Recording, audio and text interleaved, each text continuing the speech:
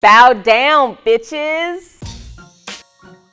Hey guys, it's Janeé from Bossip.com, and I want to talk to you about Beyonce making the September issue cover of Vogue magazine.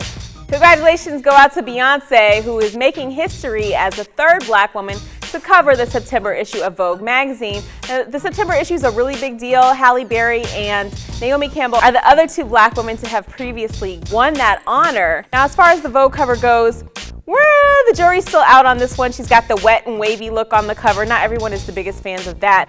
But I'll tell you what they are big fans of, that black sheer number where the cakes are out. Haven't heard any complaints on that.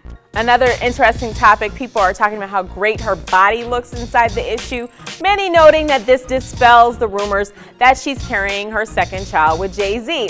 We're still not so sure about that one after all these shoots happen sometimes months in advance. Perhaps they caught her at a time when she wasn't showing. What do you think about the pictures? We want to hear your thoughts on this September issue of Vogue with Beyonce on the cover. Make sure to leave a comment below and for more videos like this, subscribe.